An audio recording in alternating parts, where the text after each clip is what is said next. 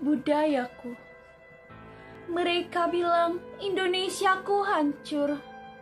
Mereka bilang Indonesiaku kosong. Mereka bilang Indonesiaku hampa. Tapi mengapa di mataku semua itu berbeda? Kulihat banyak warna dari kain-kain songket.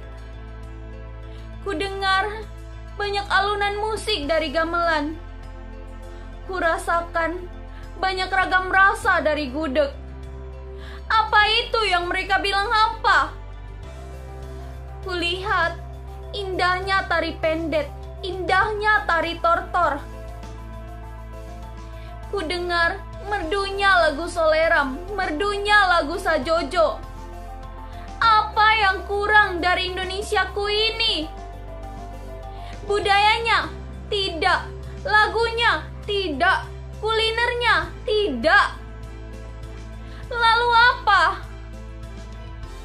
Toleransinya. Mengembangkannya bukan gak mudah untuk mengembangkan budaya kita sendiri.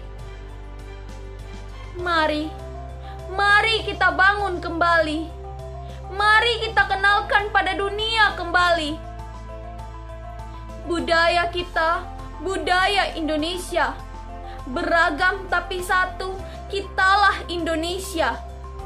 Bicara tentang budaya Indonesia, itu artinya kita sedang membicarakan kekayaan bangsa yang tidak ternilai harganya. Banyak budaya Indonesia yang sudah terkenal dan mendapat pengakuan dunia. Indonesia juga tak kekurangan talenta-talenta yang sangat menakjubkan. Tak sedikit orang-orang mancanegara yang ingin mempelajari budaya Indonesia. Berikut ini adalah contoh budaya Indonesia yang jelas paling familiar dan sudah diakui oleh dunia. Yang pertama adalah tari Jaipong. Tari Jaipong adalah kesenian tari tradisional khas Jawa Barat yang sangat populer di Indonesia. Tari ini juga merupakan gabungan dari beberapa seni tradisional seperti pencak silat, ketuk tilu, wayang golek, dan sebagainya. Tarian ini sudah pernah dipentaskan di Korea Selatan dan dinilai sangat menarik oleh perwakilan lembaga swasta Korea. Tarian ini berhasil menarik perhatian para penonton dan mereka terpukau melihat kostum para penari Jaipong. Selanjutnya adalah tari kecak. Tari kecak adalah tari tradisional yang berasal dari Bali, dimainkan oleh penari laki-laki yang duduk melingkar dengan jumlah yang banyak. Gerakan-gerakan dari tarian ini terbilang cukup sederhana, yang di mana membuat tarian ini sangat menarik dan unik. Kini tari kecak sudah dikenal oleh wisatawan lokal maupun internasional yang berkunjung ke Bali.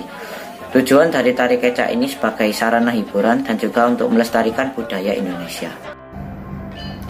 Selain budaya-budaya yang sudah disebutkan sebelumnya, Indonesia juga memiliki banyak alat musik tradisional. Salah satu contohnya adalah gamelan.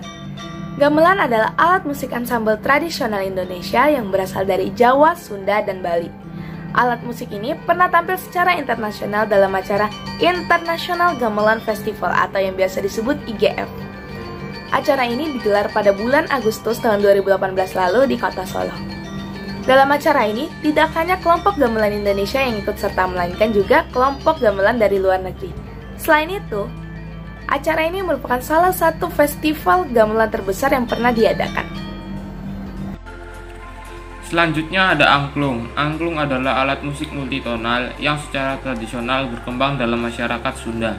Di suku Sunda, alat musik ini dibuat dari bambu. Pada tahun 2010, angklung tercatat di UNESCO sebagai karya budaya tak benda. Dan di tahun 2011, alat musik angklung kembali lagi mencetak prestasi di kancah internasional. Guinness Book of World Record telah mencatat rekor dunia dari keharmonisan alat musik angklung. Prestasi dunia ini melibatkan kurang lebih 5.000 partisipan dari berbagai bangsa di dunia bersama memainkan angklung di Washington, Amerika Serikat.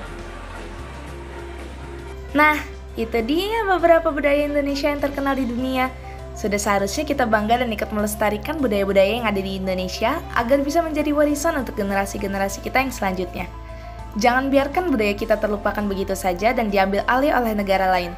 Mari kita lestarikan bersama yuk. Ini Indonesiaku.